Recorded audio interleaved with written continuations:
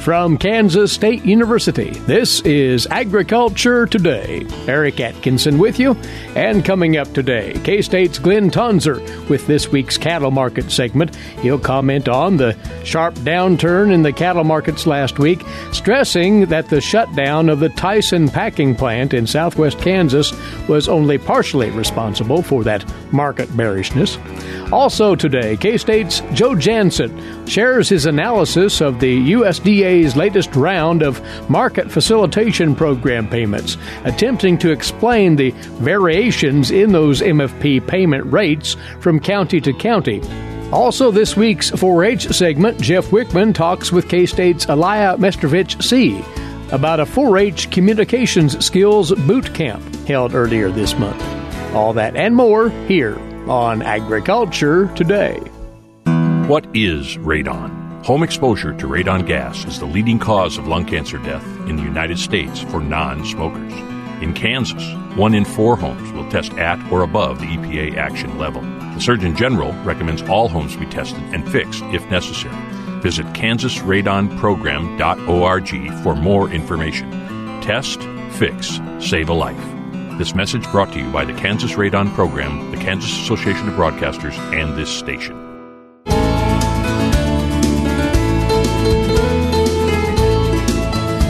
This is the K State Radio Network, and it's good to have you aboard once again for Agriculture Today. The cattle market scene, first of all, with Glynn Tonsor, our guest, livestock economist, K State Research and Extension. A number of things we'll pick up on this week, Glynn, but it was just a lousy week for the commodity markets in total, and the cattle market surely was not spared of that. No, it wasn't. And um, you know, last week Derrell Peel was on here to comment on the immediate aftermath of the Holcomb plant uh, developments. Mm-hmm the developments this week obviously are largely tied to that, and I don't want to dismiss that, but I am going to try to highlight it's not the only thing at play. Uh, there's a lot of uncertainty in the commodity markets, as you said, there was there. So before we get up in kind of the explaining why things happen, let's just break down the actual numbers for mm-hmm. the week. So when you look at cash trade, Fed cattle five market was below 106 this past week. That's down about six bucks. Um, when you break that down by state, here in Kansas, 105 was down almost five dollars full. Uh, Nebraska was down actually a little bit more than five bucks. Texas down right about five bucks as well. So across the five market region, we had a notable pullback in the cash market. When you look at live cattle on the board, uh, the August contract closed below 100, so 99.80 uh, to be specific. That was down a full eight bucks uh, on the week. Flip over to feeder cattle, sticking with the board briefly. The September contract closed at 132 and change, down about six dollars for the week cash. Uh, AMS called it five to ten dollars down. When I look at different markets, at least here in the Kansas Oklahoma region, I'd say it was every bit of ten down in most weight classes. That's primarily because feed yard interest sort of dried up, particularly early in the week, so it's not surprising. Two specific lots I noted here in Kansas, six to six and a half weight lots traded for 152.61 cents, and then a heavier head, 850 to 900 pound lot, large group, 876 head, traded at 128 and a half. Hmm. All these are painful numbers. They are way down, and I'll, I'll try to explain kind of why I think it happened mm-hmm. in a mm-hmm. moment. But you can't complete the story unless you also talk about meat prices. Right. So choice cutout was actually up 22 bucks for the week, so 238 69 cents.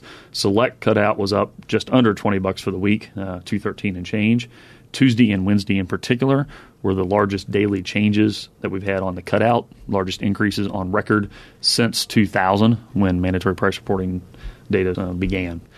So the way I've been describing this is when you have a major event like we had in Holcomb is the processing capacity in the industry was shrunk. The ability to handle cattle compared to the day before that event was reduced, and that's going to increase the cost of operating and processing cattle. What does that do towards cattle prices? That, in econ jargon, is it decreases the derived demand for fed cattle. And that's how you see the pushback on fed cattle prices and subsequently feeder cattle prices. That in itself wasn't surprising. I think many analysts would have seen something similar to what occurred this week there. What I think was a little more surprising when you look back on the week was the magnitude of the cutout price increase. The cutout was up about 9% for the week, and the cattle prices declined about 5%, depending on exactly which weight class we look at. So the fact that the cutout rallied much more than cattle were depressed wasn't really being predicted by many folks, myself included. Uh, I was discussing why it would go up, but I didn't anticipate that much up First and foremost, there's some indirect evidence that buyers of beef, so those that were buying from packers and processors in this case, may not have had lots of stocks lined up. So they were a little bit shorthanded and concerned that now the ability to produce beef took a hit to the extent there was beef on the ground that had impact, you know, there was impact in the event itself. That was a reduction in supplies. And in aggregate, USDA puts out the cold storage report that I talk about fairly often when we're mm-hmm. on here and the most recent was for July. So July beef cold storage numbers were below 400 million pounds. And I'm noting that because that is the lowest we've had since October of 2014. And we've added notable number of animals and therefore beef pounds to the production system since October of 2014. So if you do that on any kind of you know relative measure to what we're producing, the stocks number was fairly low. So if you have a low amount of beef in the cold storage system and then you have a production hit like we had, it's not surprising that you have a upward run in cutout prices. Now, the fact that that was higher than the depression on cattle prices wasn't expected. That's why I'm going through this. The good news in that is that run up in cutout prices would not occur to that magnitude unless there was a desire for those pounds and demand was pretty good going the other way, at least in the eyes of market traders, right. or they're concerned about not having product to move and so forth. So potentially there's still some good characteristics about demand in the marketplace that might help us. I don't know if I want to use the term reverse, but at least stabilize the cattle prices and maybe eventually pull us back up but to the duration of the impact of the Tyson plant being incapacitated by that fire and offline for quite a time. Still a, bit of uncertainty about that. There is. So we're now 10 days after the event itself. And of course, there's lots of media discussion on this. And the only thing that I've seen both officially and unofficially on the topic is it will be months, not weeks, is the phrase that's floating around the media. And all that alludes to is it's not going to be a easy rebuild.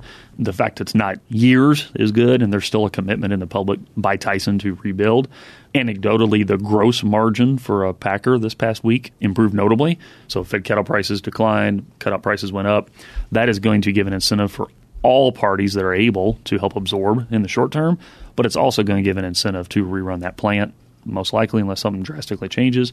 So that gives me some optimism that it, in fact, will be rebuilt and put back to work here in Kansas. For our Kansas listeners, that's a really good thing if that develops. But months, not weeks, is what has come out since uh, Dr. Peel was on this segment a week ago. You do note as well that we can't lose sight of overall federally inspected slaughter levels, and that those are no small part of this scenario. Yeah, and, and, before I even break those down, my point here is there's a lot of moving parts, not just one event, right? right. And that's one of them. So, uh, federally inspected cattle slaughter came in at 651,000 for the week, and that was up 9,000 head compared to the week before. And even that got lots of controversial discussion because how can that be up after we have a big, you know, loss in capacities where that comes from? And that in itself takes some time to absorb. So if you look at the last 20 years of that number, we get that number every week, and you see what in August, same week every year, typically occurs, two thirds of the time that week we actually have an increase compared to the week before. And that's mainly for seasonal reasons, as we have cattle coming in that need to be processed. That's not new. I'm reminding us of that. On average, over those 20 years, and I'm not counting 2019, I'm stopping with 2018, is we had five and a half thousand more head processed in that week in August than the week before in August. And in fact, we actually had one year where the number went up by 30,000.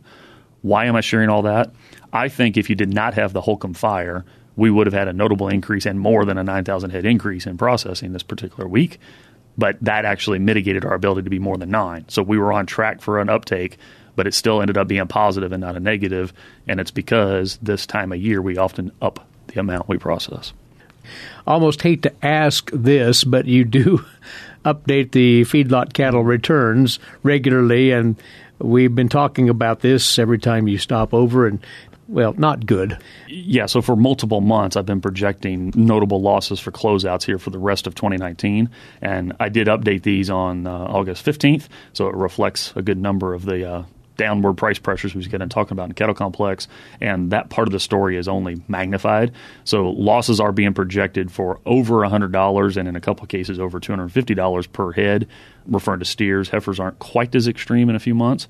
But the core reason for that is we're projecting fed cattle prices at 110 or lower We have purchased feeder cattle prices in the upper 130s to the mid 140s, and the cost of gain is 85 to low 90s.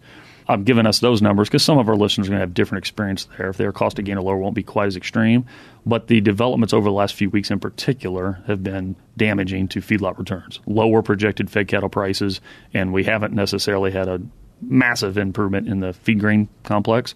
There's still notable uncertainty there as well. For our listeners that aren't as familiar, every month I update these. They're on our agmanager.info website. You're welcome to encourage to go there. It's a barometer of profitability trends if you're not hedged, is the point of that. But events like this week are definitely damaging to projected returns for Kansas feed yards. And also on Ag Manager to note, you have the latest on beef demand, the monthly update, both domestically and in the export channels. Yes. So there's a delay in the data availability there. So the numbers I have available are for the month of June. And the punchline here would be is for June, all three major meats, domestic demand decline was down so demand weakened in June compared to May. And unfortunately, the same statement holds on the export front.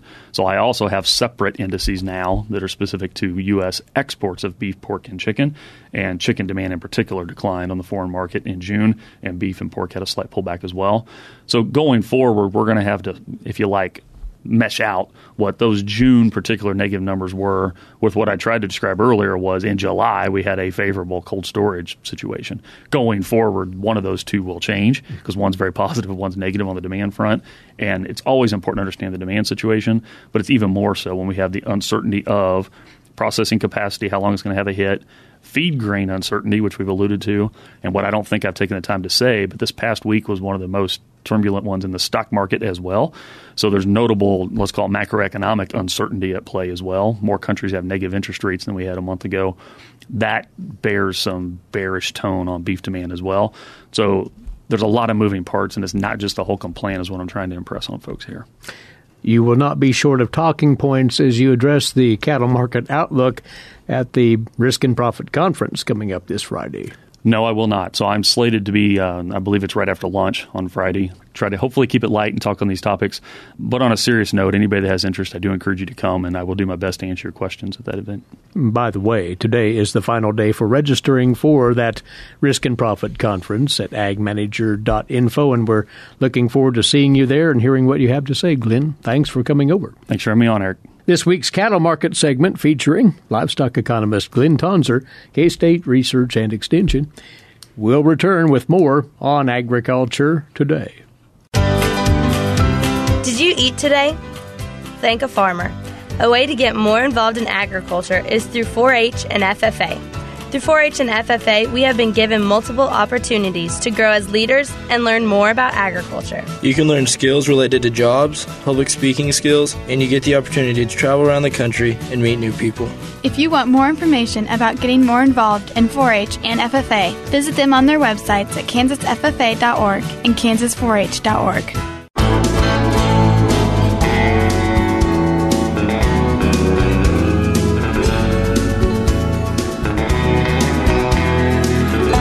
We're back now on this Agriculture Today.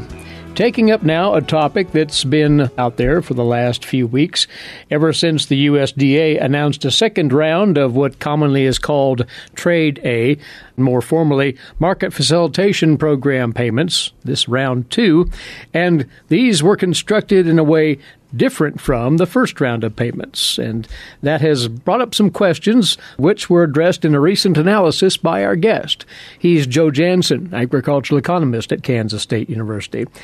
Getting at here, Joe, the fact that these MFP payments round two were based on something other than the criteria that were used for MFP1. And you might remind us of all of that before we talk about your analysis proper. Right. So in the summer of 2018, the USDA announced the first market facilitation program, and they announced that there would be payments made on actual production of specific crops and paid at a specific rate. So there was a rate for every crop that got a payment under the program. And so the big headline numbers were soybeans are going to get paid $1.65 a bushel under this program, and wheat was going to get 14 cents a bushel, and corn was going to get 1 cent a bushel. And you could argue with sort of like you know the, the magnitude of those numbers and whether the, the relative you know magnitudes were fair.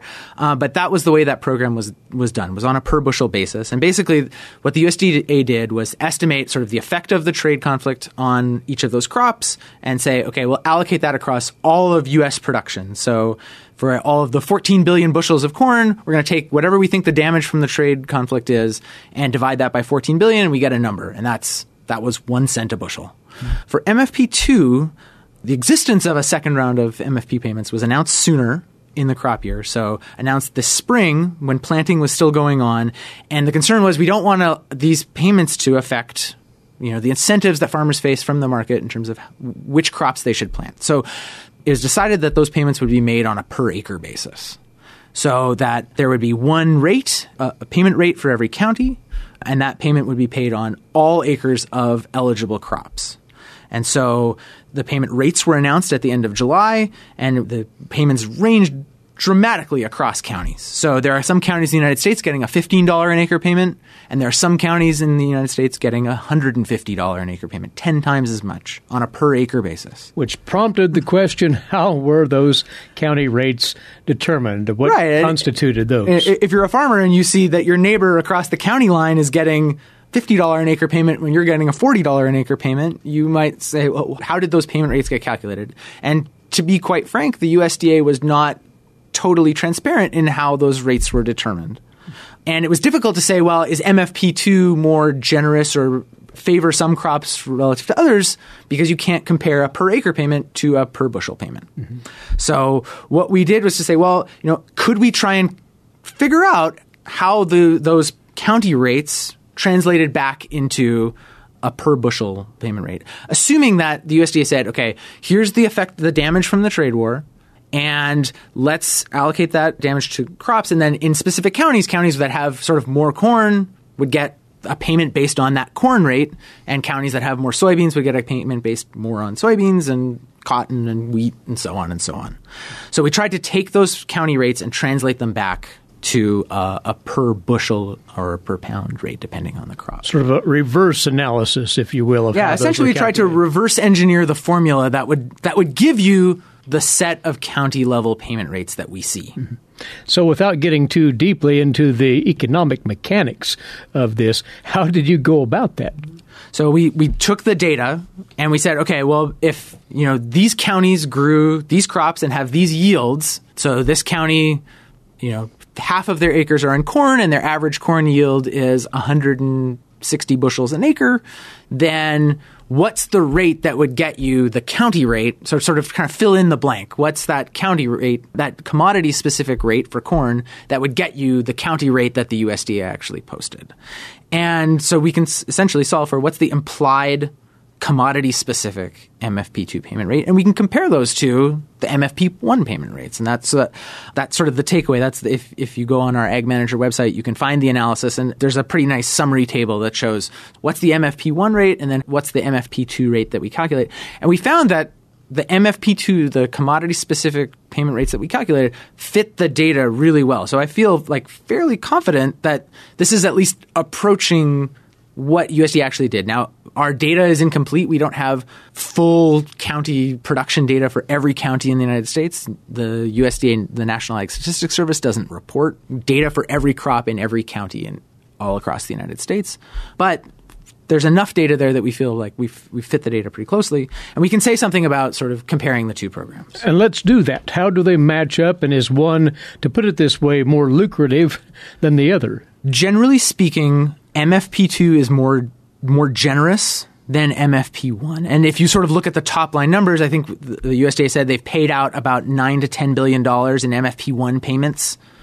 And they said that the MFP2 program would be about 14 billion dollars. So you'd expect, okay, if there's more money in the overall pot, then the program should be more generous. And so for most crops, the payment rates that, that we estimate, uh, crop specific payment rates, are bigger than they were under MFP1, but some crops grow a lot more than others. So the soybean payment rate that we estimate is pretty similar to that $1.65 a bushel that we saw last time under MFP1. But for corn, I estimate that MFP2 payment rate is about 23 cents per bushel As opposed to a as, a- penny. as opposed to a penny the first time around. So significantly more generous. Other crops that sort of increase a lot cotton and wheat payments grow by about three times what they were under MFP1. And then some crops get payments where they maybe didn't get payments before. So, for example, rice and peanuts, two crops that I fully understand are not that important to Kansas farmers, um, but are part of the, the calculus of this program. I estimate that they get payments the part of the, the county payments was based on a payment to peanuts or and to rice. And that wasn't the case before. The other way to sort of look at the the payment rates is to think about well, how big are these commodity specific payment rates relative to price? So as a percentage of the price, how big are the, the, the program payments?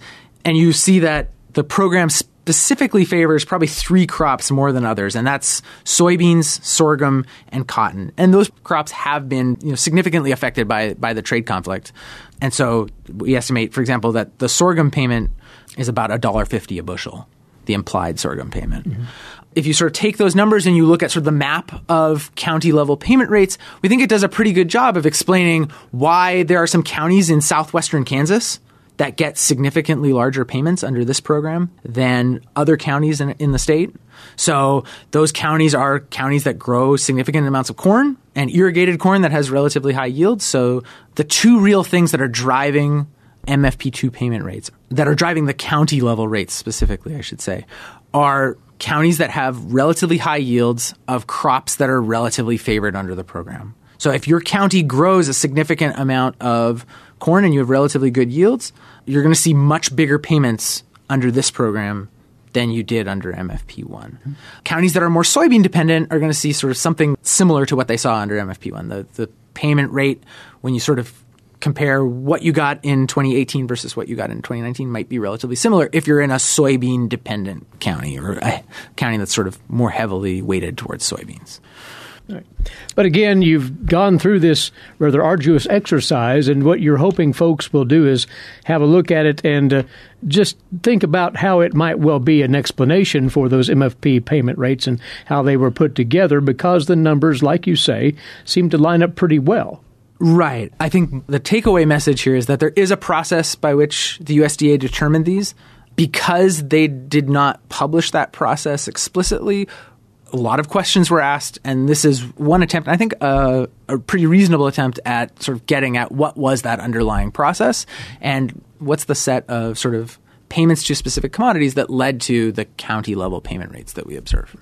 And we would invite folks to have a look directly at your article that covers the entire work here that you've done. It's entitled Explaining Variation Across Counties in 2019 Market Facilitation Program Payment Rates. It is, of course, up now on the agmanager.info website.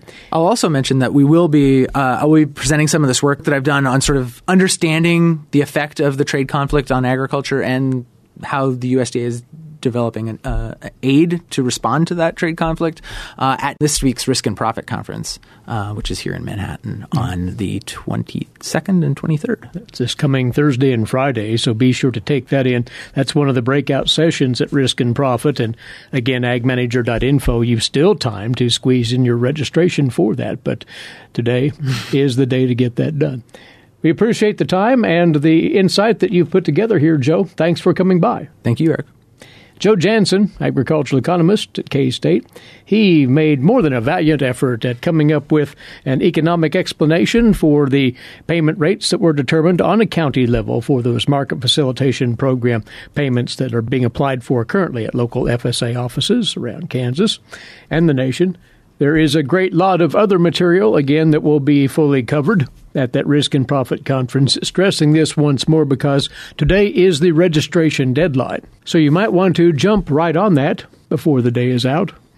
Again, agmanager.info is the place to take care of that business. And you're listening to Agriculture Today. Now we'll stand aside for a few moments. When we come back, today's agricultural news headlines, along with this week's edition of Tree Tales from the Kansas Forest Service at K State and our weekly 4 H segment for you likewise. Please keep it right here on the K State Radio Network. Agriculture and food systems are the main drivers of the Kansas economy, but must be improved in order to feed the world's growing population. How are we going to do so? Reduce food loss, find ways to preserve grasslands, and help families stretch their dollars. Global food systems is one of the five grand challenges K State Research and Extension is addressing. To learn more, visit www.ksre.ksu.edu.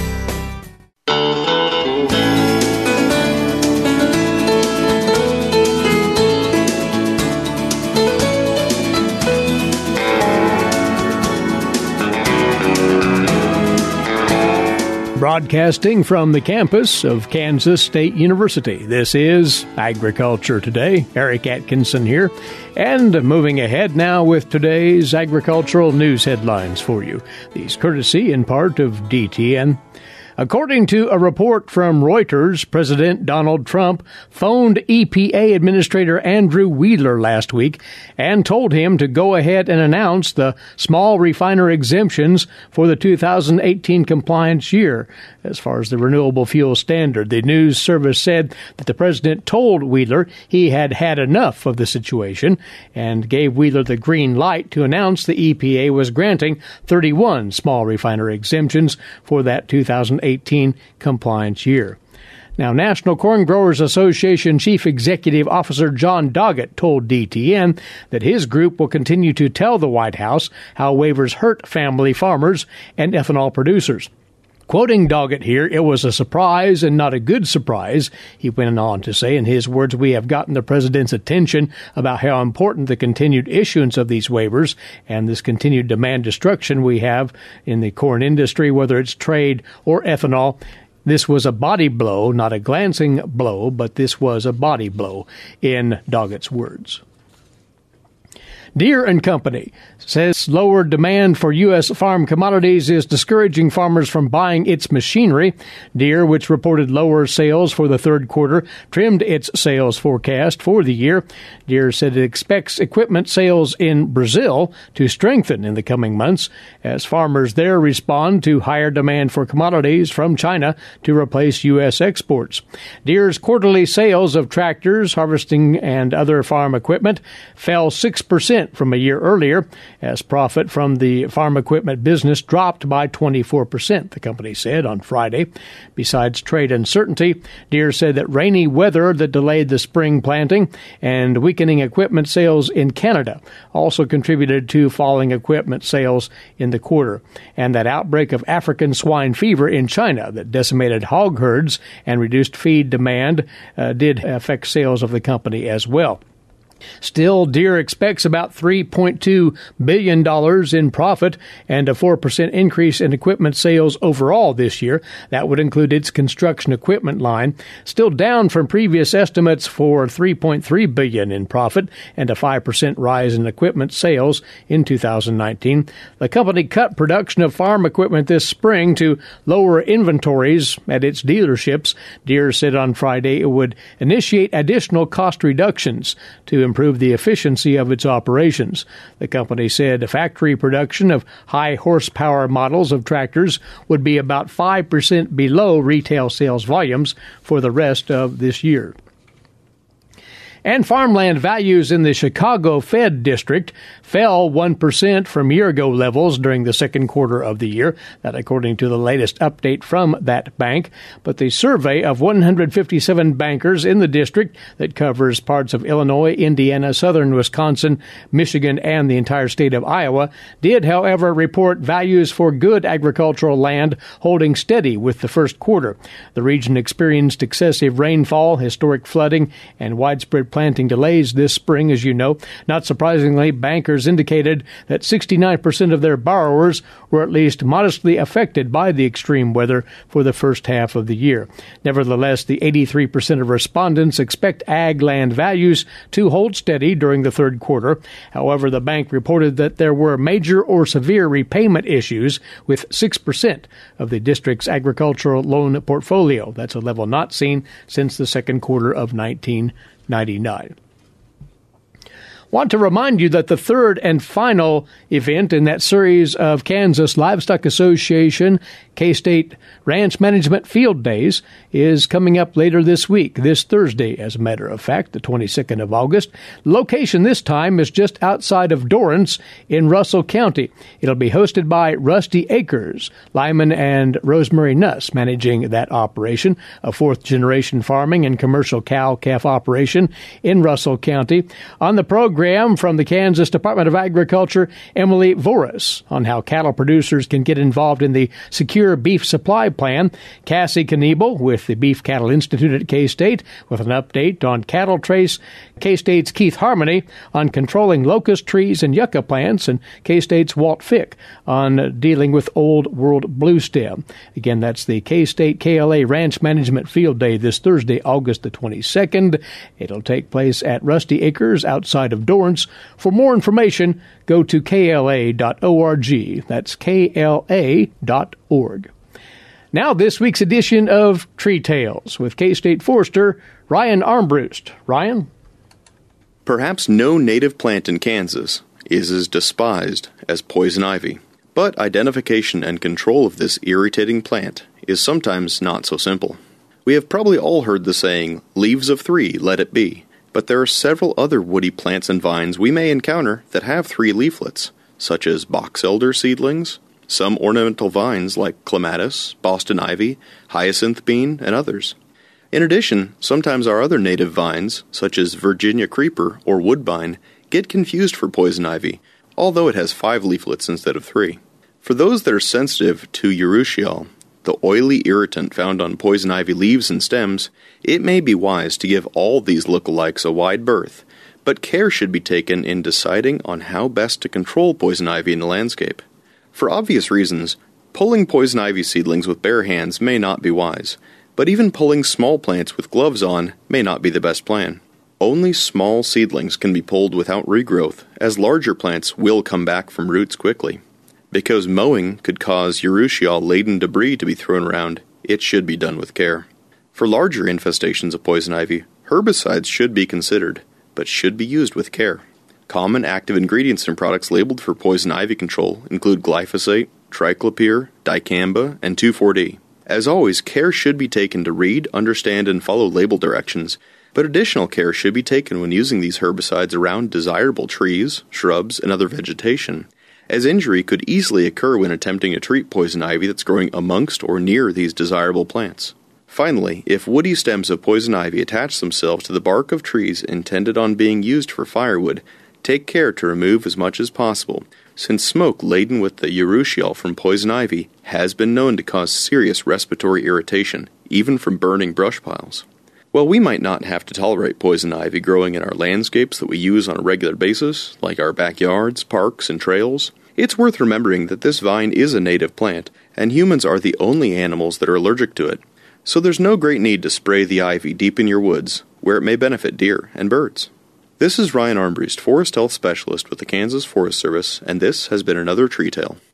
Thanks, Ryan, and this is Agriculture Today. For 25 years, K State Research and Extension's Kansas Agricultural Mediation Services has been providing a no cost, confidential place to call in and visit with an agricultural lawyer. Our experts are available to help you producers handle legal and financial issues. Explore your options and generate solutions. Call us at 800 321 3276 or visit us online. Kansas Agricultural Mediation Services.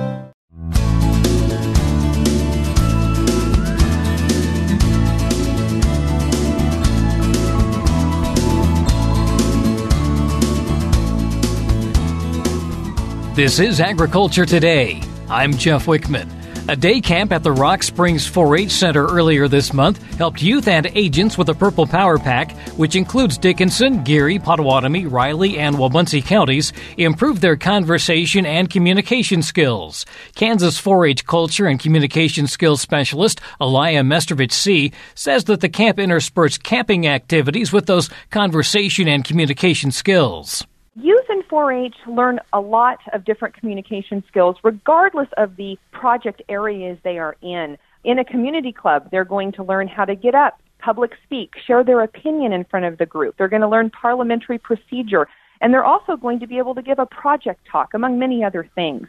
What we're trying to do right now is build upon those communication learnings in the culture and communication content area. And we are uh, going to be rolling out a series of workshops for youth that involve communication and cultural skills. So, for this day, for example, we had three parts to the day. The first part was learning basic communication skills that involve active listening and understanding communication style differences, as well as being able to show empathy. I think we live in really polarizing times, and it, it can be hard at times for us, even as adults, to speak civilly and understand another person's point of view. These youth did an amazing job learning those fundamental communication skills that will make them successful now and in the future in anything they do as they're learning life skills. The second part of the day involved tough conversations. What do I do as a youth when I am under verbal attack from another person? And what is my conflict style? How do I respond in a conflict? Do I shut down? Do I become more engaged in the conflict? How does that work? And in reality, how do I listen to be able to respond and de escalate a situation? Finally, the last part of the day involved an introduction to civic discourse and democracy. And this is going to actually help prepare youth for our spring event, Citizenship in Action. So youth were able to vote on national issues forums and came up with a couple different national issues that they are going to deliberate on and facilitate community conversations this fall. And go ahead and talk about what they decided. They decided among all of the national issues forums that there were two that were closest to their heart. One was what do we do about the opioid epidemic in the United States? And how do we prevent mass shootings? So, what we're going to do is train youth to be facilitators of this civic discourse, and we will all get together on campus this fall to be able to deliberate and come up with some ideas about how we could move forward on these issues, keeping in mind the common good, which is a leadership concept. And as part of that, you're working with a couple of groups on campus. Yes, we are. So we have partnered with the Center for Engagement and Community Development. We have partnered with ICDD, the Institute for Civic Discourse and Democracy, and we have also partnered with Leadership Studies and Health and Human Services. This is really part of this idea of the project pathway that there are many different types of experiences that youth can have to deepen their cultural and communication skill development. And it's very much about identity, learning about who am I when I am in a conversation or communicating with someone else, and who are they? How do I perceive them? And then how do we come together and have a conversation and be successful at it? you mentioned that it really starts with the active listening. What were some of the things that you went over as part of that? Because really that's kind of going to lay the foundation for moving forward. Yes. So we had youth think about why we listen. And we really broke it up into three parts that we listen to gain information, to give affirmation, or to respond to inflammation. So youth got up and actually did role plays and learned about these three different ways to actively listen, to listen for content, to listen for feeling and reflect that, or to listen to de-escalate.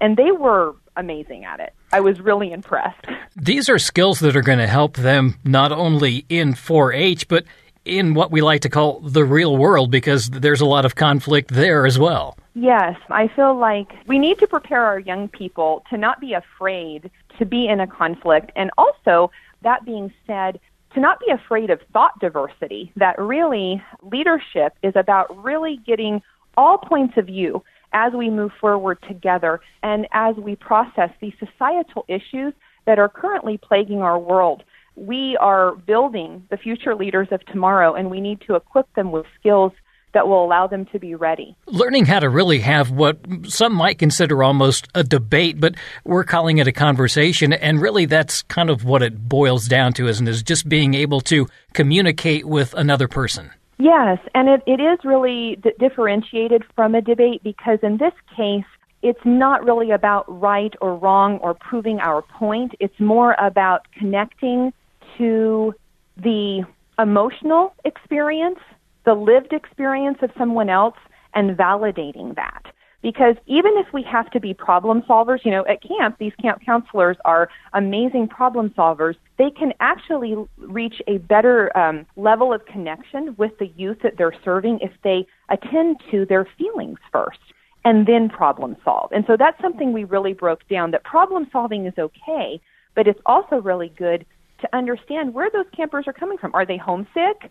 you know, are they tired? Are they cranky? Or you know, what what are their emotional needs too? Will this expand beyond this group to a statewide format? Well, um, we are definitely moving in that direction and taking some steps towards making this available statewide. The next step is having the youth that learned these different fundamental communication skills and an introduction to civic discourse to actually be able to lead community conversations in the fall. So the goal is to invite and open this up to youth that may be interested, but the youth from the P3 Camp Counselor Academy have the opportunity to be in a leadership role and be trained to be civic discourse facilitators before that event actually occurs. And we're really hoping that this becomes a year long experience where we're looking at all these different ways that youth can deepen their communication and cultural skill development. Whether it's citizenship in action, citizenship Washington focus, the Kansas Youth Leadership Forum, these community conversations, we really are looking at a, a year round experience to further develop the, the project pathways of leadership, communication, and civic engagement. That's Kansas 4 H Culture and Communication Skills Specialist Aliah Mestrovich-Seay. To learn more about Kansas 4 H, visit kansas4h.org. And that'll do it for this edition of Agriculture Today. For Eric Atkinson, I'm Jeff Wichman. This is the K State Radio Network.